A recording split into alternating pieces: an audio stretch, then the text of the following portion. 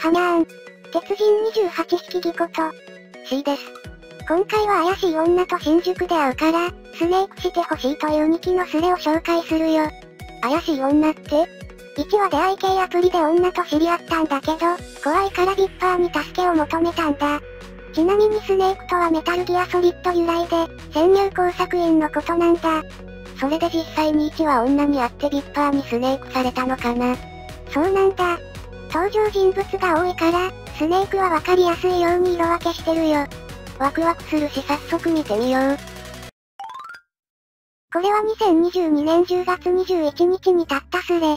今から新宿でテンダーの怪しい女に会うんだが、スネークしてくれるビッパーいる？暇だしいいよ。マジで来てくれ。ぼったくり居酒屋に連れて行かれそうな予感しかないんだが、面白そうだから会うと約束した。店あっち指定ならぼったくり確定だぞ。まあ新宿の時点でほぼアウトだけど。おかしかったら発狂して走って逃げろ。冗談ではないぞ。頭おかしい人だと思われれば100人力だ。ちゃんと見守ってくれるんだよな。正直ワクワクと恐怖が半々なんだが。ここで実況して。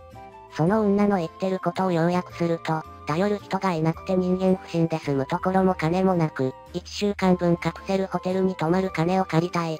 ただ借りるにあたって、実際に会って話をして人となりを見る、面接をしたい。面接をするならカフェとか人に話を聞かれる場所ではなく、酒を提供してガヤガヤうるさい居酒屋のような場所がいい。らしい。借りる方が面接で貸す人の人となりを見るの？いやいやめちゃくちゃで草。やばい匂いしかしない。なんで借りる側が面接するんだ？普通逆でしょ。いつの間にかテンダーはブロックされてるわ。これは真っ黒だわ。LINE の方はブロックされてないが、テンダーのプロフィールスクショ取れなかったのが痛い。100黒やん。LINE の画像と顔と名前さらせ。そんなクズは晒していい。そもそも面接って言葉が出てくる時点でおかしいよな。怪しすぎる。借りる側が偉そうにしてる時点で頭おかしいぞめちゃくちゃすぎて面白い。俺今新宿だから仕事終わる時間と会うならスネークするけど、多分会わないんだろうな。18時半に南口まで来てくれたらスネークできるぞ。テンダーのプロフィールを思い出せる限り書くが、自己紹介が、困ってます。相談に乗ってくれる人いませんか？助けてください。みたいなことを書いてあった。一人で行くの危なそう。ちょっと怖いからビッパーにスネークを頼みたくてすれ立てた。ワクワクすっぞ。本当に女が来るのかな？何かご信用のものを持って行った方が。丸腰で行くやつがあるか？俺はネット関係のやつと会うときはナイフと警棒必ず持つぞ。一応何があってもいいように身分証から何から何まで全部置いて、現金とスマホだけ持って行ってる。一の元につつもたせの用意した怪しい男が数人現れてから、そこを数十人のビッパーが囲う展開熱すぎんだろ。最近よくあるパパ活さらし上げインスタグラムネタ臭い。今そんなのが流行ってんの？仮にそれだとしたら設定が尻滅裂すぎるだろ。もう少し早く立てないと神奈川からだともう駆けつけられない。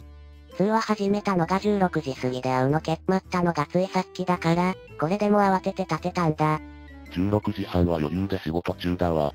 なんとか22時とかになんないかな。遠方から駆けつける人とかその方が都合いいし。22時だと居酒屋に連れ込まれて半グレに囲まれてる最中かもしれない。なんでそんなのに会うの？出会い中って頭おかしいのしかいねえのか。騙すにしても下手すぎてどんな風に騙そうとするのか気になるし、話のネタにできると思ったら会いに行くだろう。どこの居酒屋だろうね。金もないのにわざわざ高くつきそうな居酒屋っていうね。マックとかカフェだと話を聞かれるのが嫌とかなんとか言い訳言ってたわ。公園で話すのを提案したら、何も食べてないから物を食べたいし、人が多くて座れなかったらうんたらかんたらと下手くそな理由作ってたわ。ちなみに俺の格好はトップスがこれで、下は黒パンツで靴も黒。髪型は画像みたいな髪型してる。ぜひスネークしてくれ。この服装の人多そう。身長とかは ?172 センチ。ユニクロのグレーのマスクしてるわ。場所決まったらさらせ。G 流大学生だがボディーガードしよか？ぜひとも頼みたい。三丁目とかのバーに連れて行かれてぼったくられる。友達がとか言って。二丁目の方に連れて行かれたら掘られる。どうせなら一緒に酒飲みながら一を待つオフしないか。一のレスがないから誰かが来たのか。すまん、今南口に向かってる。その女は南口付近にいると連絡入った。その南口で30分くらい立ち話すれば大学生くんが間に合う。わざと遅れていって、店決めもちょっと悩むんだ。今通話しながら合流しようとしてる。終わったら一がいっぱいおごってくれたりしないの？金むしり取られなければおごるぞ。マジ、それなら行こかな。行こうかな。新宿駅南口のここに今いる。多分そろそろ合流しそう。19時半になってもよければ。ここで一人目のスネークがスレに現れる。ドキドキ。19時半前には着くから進展あったら教えて。誰かスネークは言ったのか？ごめん、17時50分くらいに着くわ。路上飲みしてるから誰か来たら教えてくれ。続いて二人目のスネークもスレに書き込みを行う。借りる側が審査してて笑った。何様やねん。今店入ってる。とりあえずコインロッカー行けばよい。もうちょいで駅着くわ。どこのどんな店よ。串焼きの店。お前ら普通にオフしてろよ。駅着いたからこの辺り行ってみるわ。普通の店だといいな。ここは俺が適当な選んだ。一が選んだ店か。目の前いるかレスしづらい。目の前でカレー臭つらい？レスする余裕なくてひらがなになってるの緊迫感あって笑える。面接って今どんな話してるの？特になんてことないたいない話してる。もしかしたらこいつただ酒飲みたいだけかもしれない。なんだ、騙されそうな一致はいなかったのか。でも頼れる人いないか聞いたら、スマホ落として連絡先消えたとか、財布落としたとか、明らかな嘘ついてて臭いんだよな。これで普通に良い雰囲気になって解散しやがったら、ちょっといい店でおごらせるからな。この辺、合ってる？もう着くぞ。俺ここの日高屋の前にいるから落ち合わんか。白のタートルネックにグレーのジャケット黒いカバン。わかった。こっちは全身黒。スネーク1と合流してそれっぽい店入ったけどわからん。楽しそう。なんか面白そうなスレ。市ヶ谷駅着いた。電車乗る。待ってろ1。さらに三人目のスネークもスレに書き込みを行う。面白そう。新宿まで10分くらいだから行ってみようかな。森買い取りって店の向かいの1階。真輪中の先にいる。レス見る余裕ない様。酒飲みフス。特徴書いてくれ。手を振ってくれたら振り返す。いたわ。正解。笑った。わろた。今トイレに避難した。席空いてないからしばらく待って空いたら入るわ。スネーク組は、店にいる二人組と、市ヶ谷から向かってる人で、今のところ三人。今新宿駅から脱してる。かなり遅めの昼飯でマック食べたからやばい。この展開でしょっぱなぼったくりバーに連れてかれない分岐あるんだ。もしかしたら1軒目で油断させて2軒目で連れて行くのかも。しかし都会に潜入してるから何かあったら呼んでくれ。一に何かありそうな時はスネーク班が頼りだね。スマホなくしたってテンダー何でやってたんだ。顔はさ、田舎の女って感じの顔。おにぎりが似合う感じ。すまんそろそろ戻るわ。おにぎり面接。何歳くらいの女なんだろう。しっかり面白くて笑った。ただお腹空かせすぎて理性を失った女説だと思ったけど、わざわざブロックする理由がわからないんだよな。おごってもらいたかっただけなら、女なら正直にそう言えばおごってくれる人見つかるじゃん逆に面接とか変なこと言ったら警戒されて飯にありつけなくなる。しばらく金が引っ張れそうか調べるとかかな油断させるために一軒目は普通にやりとりしてんのかもな。スネークは焼き鳥酒場トリコの地下にいます。スネークの安心感いいな市ヶ谷からのスネークです。現場の店着いたんだけど混んでて入れん。すでに入店してるスネークに迎えに来てもらうんだ。服装のヒントもらえる？上下黒に赤い靴。全く知らん人に声かけられて、全く知らん学校の同窓会の部屋に通されて焦った。同窓会乱入も熱いな。VIP の人だと思ってついていったら、近況報告とかされて、最上階の個室に通されて、ここで異変に気づいた。男女たくさん揃ってたし。なんなら外で待っていてもいいが。赤い靴なんていないぞ。現地組今の位置の様子確認できそう？1、クソ近くに潜入してて笑った。間違えました。靴も黒でした。ほんとすいません。さっき表出て店員に声かけられてた灰色のお兄さんですか？今金の無心始まった。産業で頼む。うさんくさい女にあえて騙されに接触してる1。スネーク部隊は1と女が飲食してる店の地下の店で待機中。女が金の無心開始。サンクス。今からオンは間違えたごめん、スネークと1は同じ店にいる。焼き鳥酒場トリコの力らしい。ターゲット現在トイレへ行きました。3万2500円あげることになりそう。イッチはそれで良いのか？いいのかそれで？ソープいける金額だぞ。田舎女と串カツ食べながら話せただけでいいのか？ラブホで一発する代わりに3万渡せば？おにぎりが未成年だったら1が捕まる。スネーク同士で合流したら？大学生の人と1と合流した。1は生理用品とコンタクトも無心されてるようだ。現物は草。あとタートルネックの人と1は LINE を交換した。緊急時はそちらで連絡して助けに行く予定。なんかやばそうだな。スネークマジ助かる安心する。タートルネックって誰？IDS8 プクフフィーレー。登場人物は、1、女、スネーク、タートルネック、1のライン取得、大学生、走ってきたやつ。こんな感じ？スネーク4人くらいいるのか？スネーク班メンバー。90の全身黒、スネーク1。タートルネック、スネーク2。大学生、スネーク3。って感じか。スネーク班はこれで合ってる。田舎女に世の中の厳しさ教えてやれよ。3万稼ぐのがどれだけ大変か。そろそろ2件目行こうや。早くぼったくり連れ込まれてほしい。そろそろ怖い人とか出てくるのか。トイレで九段の女とすれ違った。よく取れたな。有能すぎるだろ。携帯片手ってことは他にやり取りしてたのかな。おばさん、おにぎり何歳だったおばさんって感じではないけど確かに芋っぽかった。24、5くらいかな。新宿で会う女にしてはなんか雰囲気がその、あの、本当に田舎から出てきて困ってる非常識なおにぎりかもしれないな。例の女がトイレ入った。さっきから頻度が高いな。あと111でスマホ落としたと書いてるのに、177ではスマホ持っているという。確かに。やっぱり何か裏があるな、おにぎり。思ってたのと違う。もうそろそろ出るみたい。おにぎりの情報が少なすぎるよな。ちゃんと聞き出せたのか。ぼったくりバーとかパパ活つつもたせじゃなくて、マルチとか宗教方面なのかな。早く次の情報が欲しいところ。スネーク班は先に外出たよ。おにぎりホッピー飲んでる。なんか笑う。一ニッコニッコで会話してて笑った。楽しんでじゃねえよ。1も出てきた。おにぎりの嘘暴いてくれよ。寝られねえよ。一もスネーク組も応援してる。これからドンキへ移動する。ヨドバシ東館入った。トイレで休憩？するらしい。多目的か？1は渡部か？スネークは外で待機してる。遠目。おにぎりちゃんはトイレが近いみたい。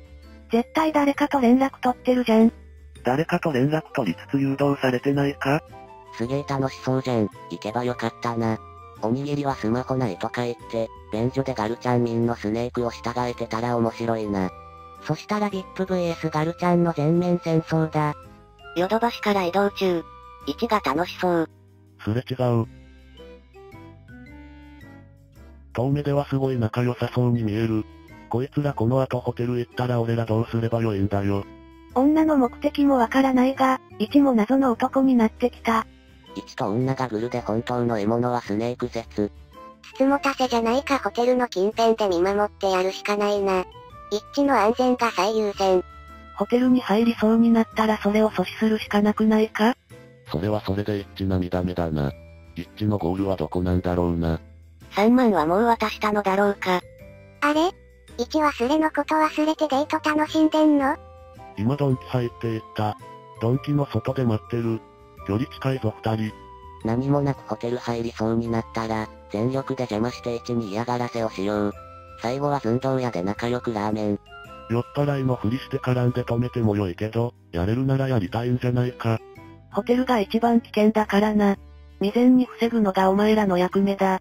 おにぎりはスマホ落としたと言いつつ持っているとか不審な動きしてるし、まだ油断できんよ。さっきからうろうろしてるけどホテル行くから買い出ししてんのか？生理用品とコンタクトを買うためにドンキに入っていった。今後どうするのかは不明。リアルタイムで追ってるのを見ると楽しいな。雰囲気。二度目のトイレタイムになりました。金はツーショット写真を条件に渡すことにする。ドンキ出た時写真撮って渡すつもり。金渡すのか。かもられててわろた。せめてなんで嘘ついてんのかは聞き出せよ。今時ピーカツ女でも3万もらえたらやらせてくれるだろ。ホテル行くならハメとリュープは絶対だぞ。スマホはレンタル？か何かで手元にあるらしい。あとドンキで洗顔も追加で欲しいと言われた。1とのライン、そのスタンプ詳しく。ちいかわを。餃子とありない。君の味方フレンズ。サンクス。やりとり可愛くてわろた。おにぎりも良いやつそうじゃん。写真で3万渡すのは金持ちすぎますよ。お前らが楽しんでくれるなら喜んで3万出すわ。あたまじでちまる子立たないくらいタイプじゃないからホテルは無理だわ。付き合うのは無理だけど俺は全然抱ける。贅沢言うな。そこで3万出しても楽しくないから。それならスネークの誰かにやらせようぜ。トイレタイム終わらせてこれから買い物行きます。ドンキ内でね。この後おにぎりとはどうする予定？ちょっとスネークたちが何か仕掛けてみたらどうだろう？酔ったふりして大学生スネークがおにぎりに声かけるとか。声かけたら今後追尾しづらいからな。確かにそうだね。本当かどうかわからんが、性被害に遭ったことがあって人間不信らしい。酔ったら話せるんだと。おにぎりも辛い過去があるんだな。そりゃ世の中ただで3万あげるような優しい人ばかりじゃないからな。タートルネックが入っていった。仲睦まじい。規定。クソワロタ。おにぎり耳が赤くて可愛い。耳赤くほてっちゃって可愛いね。こういうスレ久々に見たな。正直クソワロタ。てか一イケメン感すごいあるな。一イケメンっぽいな。こういうのって真似しようとしても真似できないんだよな。と何かが根本的に違うんだろうな。1は普通に高青年って感じ。まあ俺の方がイケメンかな。めっちゃ楽しそう。まあ謎はまだあるけどな。ジェンダーでブロックした理由。嘘をついた理由。お金がないのに東京に居続ける理由。ジェンダーについてはこれから聞いてみるわ。多分バクとかなんとか言うと思うが、待機時間がもどかしい。最後みんなでおにぎりとカラオケ？面白そう。一イケメンだぞこんちくしょう。ここで4人目のスネークがスレに登場。スネーク3人は外で仲良く待機中だ。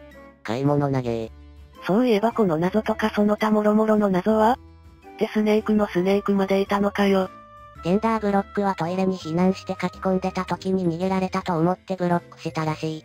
メンヘラで意味のわからないことをしてしまうおにぎりなのかな？金を無心したいけど人を騙すのに慣れてないだけの女だと予想する。なんか特に問題なさそうだな。問題なかったら生理用品を初対面のやつに買わせねえよ。お、1が出てきた。東口うろうろしてる。何話してるんだろう。後ろで話してる。お借りしたい。どこで？方面。と聞こえる。3万借りたとしておにぎりが返せるとは思えないんだけど、財布出してるっぽい。そろそろ解散か？ここまでスネークたちが状況報告するスレを見たことがない。なんか道端で話してる。俺の予想では男が3万出すのに手出そうとしてこないから、女もモヤモヤして停滞してるんだと予想。終電まで残り2時間ぐらいだね。ずっと話してるけど、いちくんこの後本当に1杯おごってくれるよね。まだ金の無心してんのか？金渡すのはおにぎりのためにならないけどな。小銭？を渡してる。一致はどうしたんだ？ずっと二人で話してるからスマホ見れないんだと思う。おにぎりと解散した。解散したぽい。めちゃ頭下げてた。おお報告はよ。ワクワク。1と合流。これから4人で飲みに行く。おお、一無事だったね。お前ら仲いいな。おつおつ。え、かバイオレンスな展開はなかったか。じゃあせめて反省会場をぼったくりバーかへ、意味せかどっちかで。一致もスネークもお疲れ様。いくら渡したの？なんか普通に困ってた人だったぽい。困ってた理由が気になるな。今後もこれを繰り返していくだろうから、おにぎりはまた危険な目に遭うんだろうね。スネーク班もお疲れ様。めちゃくちゃ面白いことしてたんだなお前ら。みんな無事でよかった。ファイブショットも取れて見守りがいがあった。二次会楽しんできてくれここで最後の5人目のスネーク、スネークのスネークをしていたというビッパーが登場する。笑う、見られてる。スネークをスネーク？サイレントスネークかい。あら、素敵な写真。一と女とスネークをさらにスネークしてたやついた。お前が一番怖えよ。もうお前探偵なれ。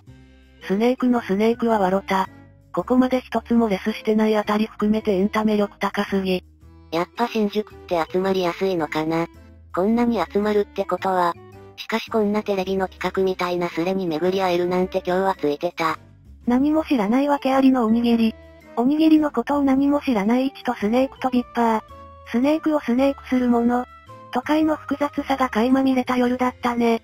今北が久しぶりに面白いスレだった。とりあえず生存報告。結果としては3万5千渡して写真撮って解散。11月1、2、3のどこかで金を返してくれるらしい。写真を撮っただけでお金を渡したん写真撮っただけでお金渡した。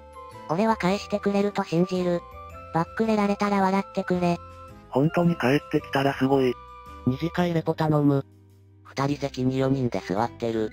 詳しく、今飲み物来て風俗と町役トークで盛り上がってるなう。揚げ物ばっかり。いいな楽しそう。サイレントスネークは合流できた？路上で一人で楽しんでるよ。みんな楽しそうで何より。揚げ物は若いうちにたくさん食べてほしい。何者なんや？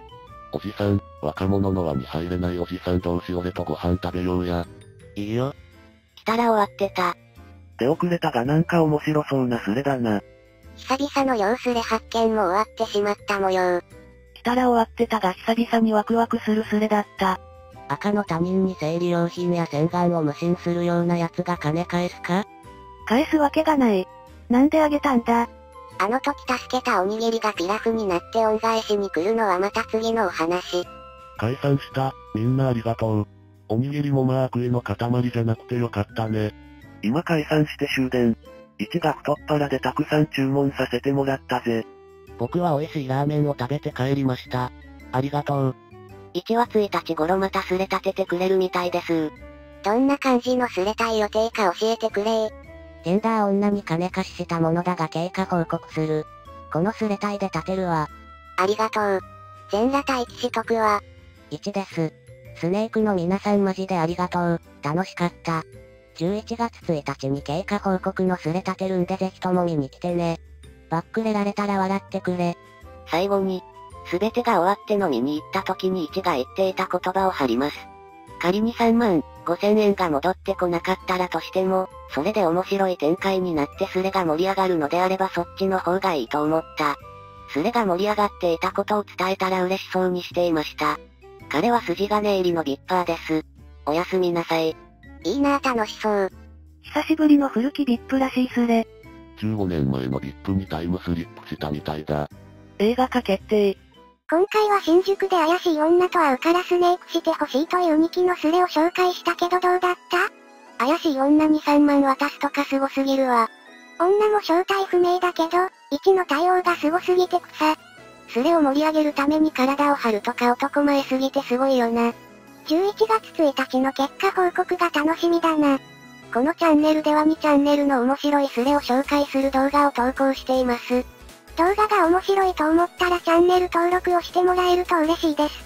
それではまた次の動画でお会いしましょう。